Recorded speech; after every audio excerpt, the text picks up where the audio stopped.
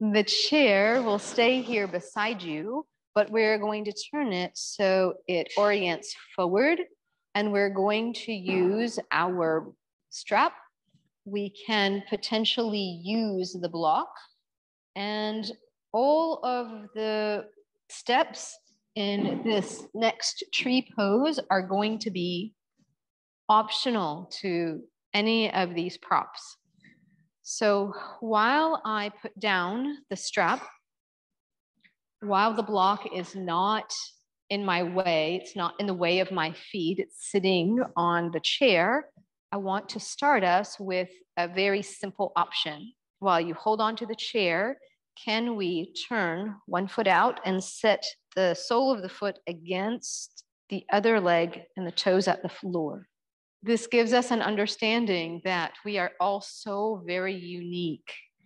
If what the pose is asking us to do, tree pose, is to open up the hip points away from each other while we engage the inner thighs toward each other. It's a balance.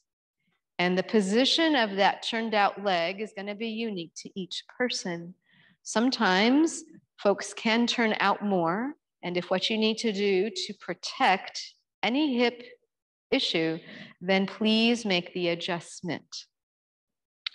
Now, switch which leg you are warming up to and simply do the same. I have my toes at the floor, the sole of the foot against the other leg.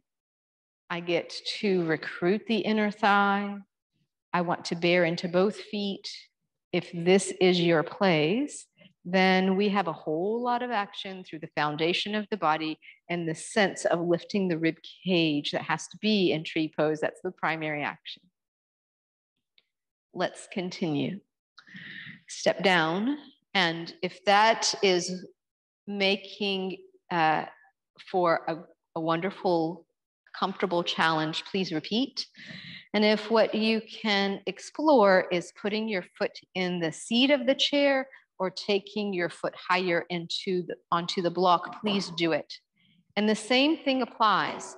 We can be more lateral of the chair, right? We can open up, or we can step back. We can step back and have the leg more forward. And that way the turnout is not as great. Please make this your practice. All right. Regardless of what you are choosing, your feet press down and pull toward each other. Both legs bear down and pull toward each other, but you have a wider base of support now. And so you can feel how that gives you stability and might feel comfortable releasing one arm, releasing the other arm, turning the palms up, lifting, drawing back, lifting some more. Very nice. And just breathe look up. Notice your steadiness and notice how there's this constant recalibration of where you are. And that's what the trees do, and that's what we do all day long. We're reestablishing our place and release. It's a lot. Now we're going to use the strap. Before we do the other side, we're going to use the strap. And we're going to keep the chair where it is. We're going to keep the orientation and we are going to use the strap somehow at the chair. So what I'm doing is I am hooking my strap to the back of the chair. And you might not have a chance to do it at the back of your chair. You might decide you want to hook it to the leg of the chair or to the arm of the chair. But as you do, pass it behind you and hold on. And still hold on to the chair and go right back to where you were. Again, you could prop up this way and you could go to the seat of the chair and you could go to the block, but what you had before, please. Now, bear down, pull the legs toward each other, And notice the push pull of the arms. The hand at the chair pushes down and into the chair, and the arm with the strap pulls. That gives us something more. And it's not just about what the arms are doing or how the back is more engaged. It's more about how the core, there's a lift. Does everybody notice that in their body, this push pull? So, what you could do, depending on the strap, in the future, we'll add more to this. You could slide your arm to a little bit more of an extension laterally, and you can keep the arms on. Hey, how about that? I will give us a little bit of a teaser as to what comes next. While the arms are on, where we're going in the future is to come up onto our toes. Whoo! Okay? And then very slowly to come on down. It's a lot and step down. We want all of those things on the other side. I'm going to take my chair to the other side. And the strap is ready, but I'm going to put it down so that we can take on those two preparations in the same order. And remember, we could be here in this propped up position. It's only wonderful. Where is that knee? How much do we turn out that leg? It does count on both sides. And if where you want to explore now is in the seat of the chair or onto the block, legs bear down, they pull toward each other. We can lift our gaze, we can release the outside arm. We might be able to release both arms. It's an amazing surprise that comes from just feeling more stable in our base. Before you give this away, keep lifting the ribs. Exactly. And then step down. All right, I'm holding the strap. It goes behind me. Whether you take this on in a lower to the ground, less involved way, whether you are stepping up into the chair or even onto your block. We're bringing balance, completing the work on this side. And I had us bear down into the chair and then press out just to feel everything open through the front and the back engaged. And that is how we are designed. The back holds us, we open to life, we move forward. But if you can slide the arm along the strap a little bit further and just feel a wider wingspan behind you, a continual change in all the relationships, keep lifting your gaze. And because you're not looking down, you've changed that aspect of how you, we all typically will look down more. Then while you're here, lift up onto your toes and just notice the shifts and then come on down and settle. Beautiful. And step down. Great work, everyone. We're going to keep the strap at the chair this way. I'm going to put it in the chair and then uh, return the block to between my hands. And we are going to return to sitting and have shoulder opening before we finish. So block in hand, chair where we can count on it, come and sit.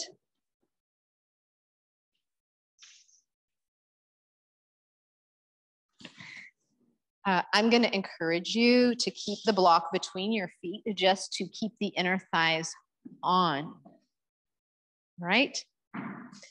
And then think about staying near the front edge of the chair. I'm going to catch hold the strap and catch it behind me and overhead. So let's go with this arm first.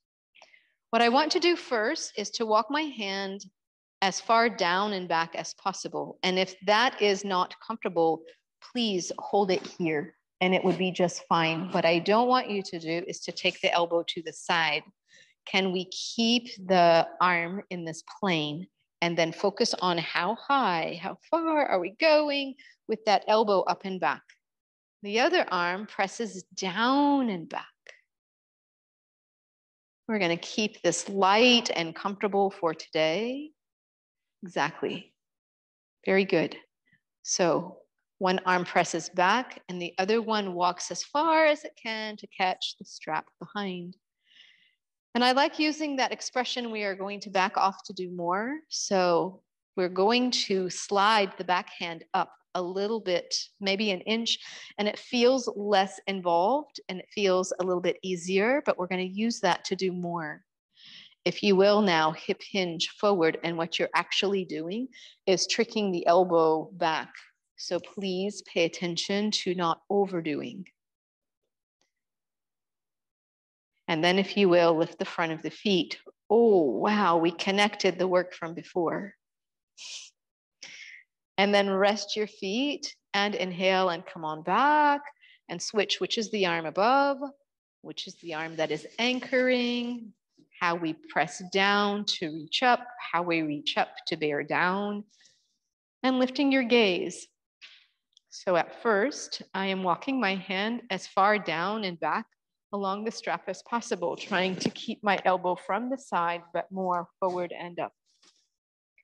And then I want to slide the hand, the top arm up along the strap, maybe an inch or so, and use this new freedom to lean in.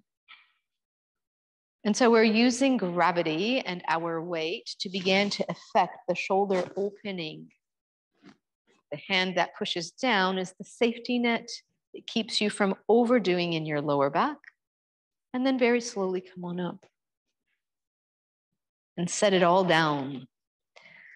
You are welcome to sit back in the chair. I'm going to let my strap just dangle. and as you sit back in the chair, sit comfortably. Return to this mudra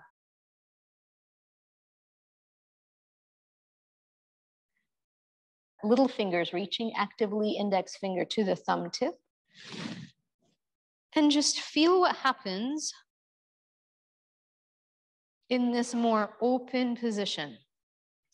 If your feet don't reach the floor, use the block underneath your feet. If that feels better on your back, this should be a comfortable, supported place. And then again, bring your attention to your foundation first. How are you connected to the surfaces below you? The support that comes from behind, the energy on your right and your left, the energy all around you. the sense of connectivity. Turn your palms down and rest your hands in the same mudra position on your lap in a comfortable way. Feel how your mind's eye turns more inward. Feel where your breath goes.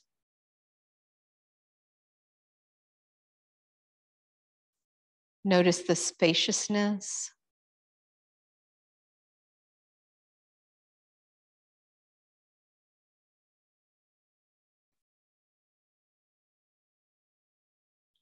Notice your right hand.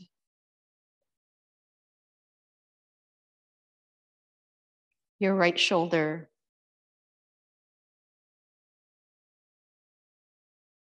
Your left hand. your left shoulder. Feel the space around your heart.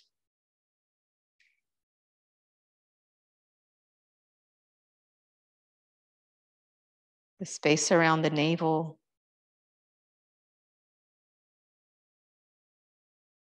Your right hip. Your right knee. your right foot,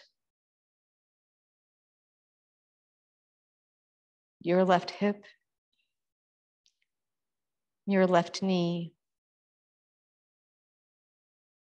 your left foot.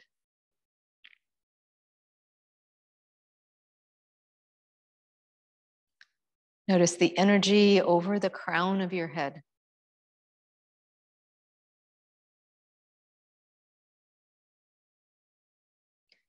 And there is great wisdom in giving attention to our inner landscape.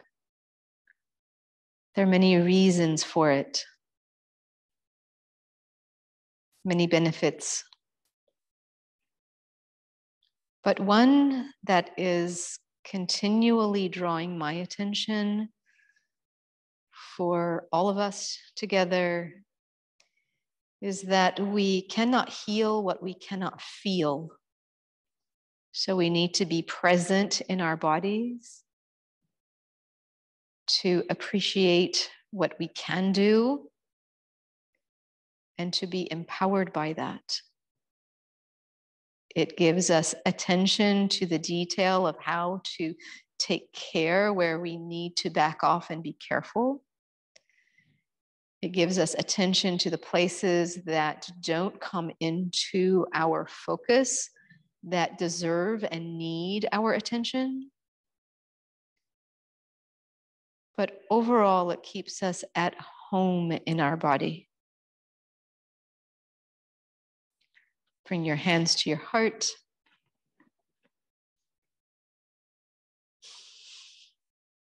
Thank you for sharing your beautiful selves Namaste, everyone.